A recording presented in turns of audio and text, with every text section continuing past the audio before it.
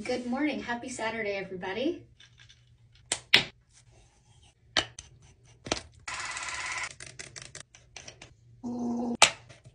I know I told you guys this last week, but so excited.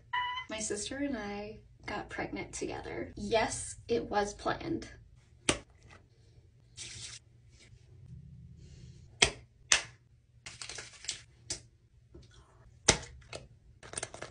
So she's planning my shower and I am planning her shower. That one kind of burned. So much better. So the theme of my shower is gonna be berries and butterflies, pink and purple and all of the super girly things.